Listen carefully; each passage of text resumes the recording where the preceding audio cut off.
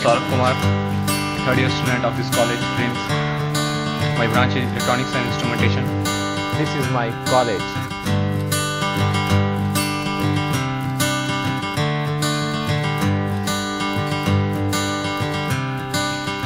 And look, this is my hostel. This video is dedicated to all my seniors residing in this hostel. These are the people which are living with us from the beginning of my first year and now it's time to say them a final goodbye. Seniors, एक ऐसा नाम जिसको सुनते ही सारे junior के मन में एक डर बैठ जाता है। जूनियर के लिए सीनियर का मतलब होता है फिफ्थ रैगिंग लेकिन ऐसा नहीं है। अगर हम सीनियर को पहचान लें और जान लें तो आई थिंक इससे अच्छा दोस्त बात में कोई नहीं मिलने वाला है। तो आइए आज हम कुछ इन सीनियर से मिलते हैं इनसे कुछ बातें करते हैं इनसे कुछ शेयर करते हैं। तो लेट्स स्टार्ट अवर जर्नी और पहले नंबर पे जो सीनियर हैं उनका नाम है चंदन अभिषेक। चंदन भैया पटना के रहने वाले हैं और उनका ब्रांच है इंफॉर्मेशन टेक्नोलॉजी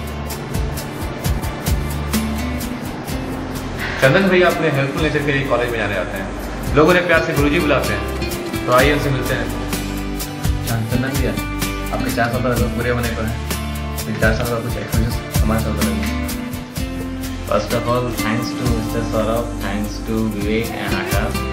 तुम लोग इतने अच्छे से मेरा इंटरव्यू ले रहे हो, यहाँ पे बैठ के और मुझे इस काबिल समझे कि तुम यहाँ पे इंटरव्यू ले रहे हो। चार साल में बहुत कुछ हुआ। लोग चार साल को अपना कॉलेज लाइफ बोलते हैं। मैं इसे लाइफ बोलता हूँ। अक्सर लोग बोलते हैं कि ये चार साल का कॉलेज लाइफ है। मैं इसे बोलता हूँ कि ये चार साल का लाइफ है।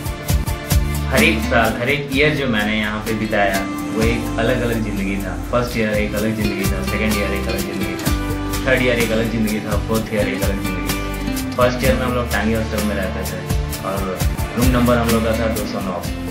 वेरी पॉपुलर रूम एंड मेरे रूममेट थे अमित कुमार झा, राकेश सागर और एक कुछ अजीब गरीब इंसान था, उसका नाम था विनायक प्रसाद। तो हम लोग चारों रूममेट थे और वो ऐसा रूम था जो कभी बंद नहीं होता था। हम लोग कहीं घूमने जाते, कहीं पे या रात में सोते थे, हमेशा वो रूम खुला रहता था।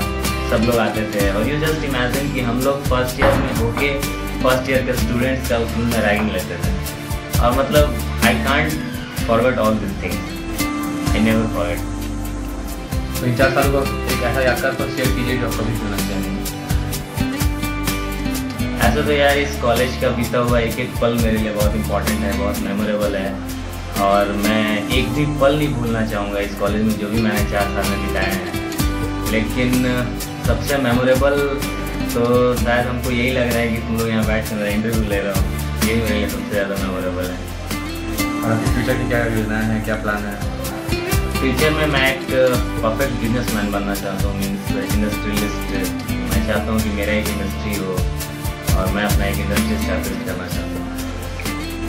तो में जाने से पहले कुछ मैसेज इंपॉर्टेंट मैसेज हैं आप जब भी जब मैं पहले यहाँ पे इस कॉलेज में आया था तो मैं बहुत सारी आध्यात्मिक बुक्स पढ़ता था लाइक स्वामी विवेकानंद के बुक्स तो बहुत सा किताबी नॉलेज था मेरे दिमाग में। तो जब भी कोई कुछ प्रॉब्लम लेके मेरे दोस्त मेरे पास आया करते थे तो मैं उस किताबी नॉलेज के हेल्प से उनका सोल्यूशन निकाला करता था। लेकिन आज जो कुछ मैं बोलने जा रहा हूँ, वो किसी किताब में नहीं लिखा हुआ है और वो कोई किताबी नॉलेज नहीं है।